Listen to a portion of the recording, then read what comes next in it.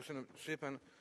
Elnök úr, csak egy mondat erejéig szeretnék arra reagálni, amit a Dorosz képviselő úr mondott, hogy ha valaki nem csak monitorból látja a vidéket, hanem járja is, akkor engedje meg, hogy csak két számot mondjak. A megyei közgyűlésnek a beszámolóján a megyei főkapitány Szolnok megyében tartott egy beszámolót, a tényeket mondom, a tényeket, az előbb is abból idéztem.